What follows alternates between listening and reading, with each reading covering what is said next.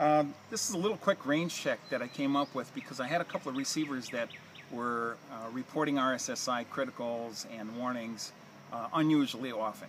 And I fly RC sailplanes and some have carbon, some don't. I always keep the whiskers out, but I just had a couple that were very annoying and then I came across the next four that really dropped away very quickly and was losing signal. So I was in the basement on the bench and I just came up with this crazy idea to do a little test and that is to cover one antenna and see what the RSSI reading would be. Because the way these receivers work, it's called antenna diversity.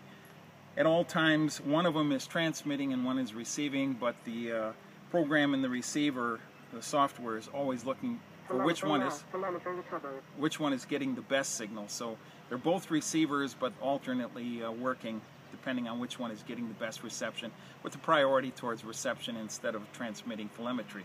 So uh, you'll see that when I walk away here, it's only going to be about 10-15 feet. I'm going to put my back to it so I have the least possible signal. I'll cover one and then listen to the RSSI numbers, then I'll cover the other one. And with this particular receiver, you'll hear it drop quite a bit from 80s down to the 60s, maybe less.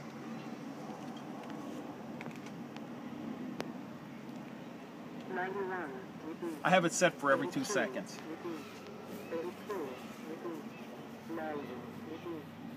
Okay, I'm about 15 feet away. I'm going to put one in my palm, my hand that blocks the signal. 75, 64, 58, 57, 60, 60.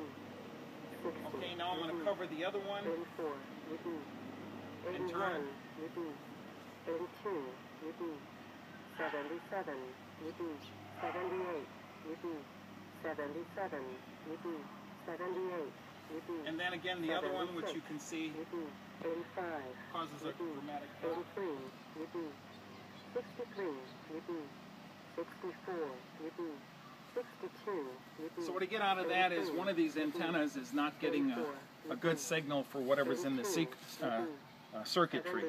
So it's a simple test, seems to be a valid test, and you can do it whenever you get a new receiver just to be sure.